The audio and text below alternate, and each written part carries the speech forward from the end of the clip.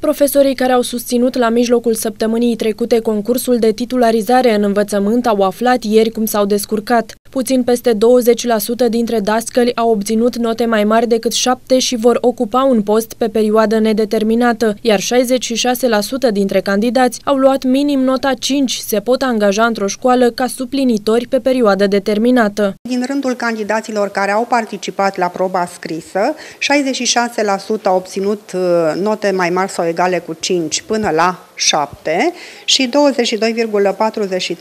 au obținut note mai mari decât 7, ceea ce le permite să ocupe un post titularizabil, adică care să aibă un contract de muncă pe perioadă nedeterminată.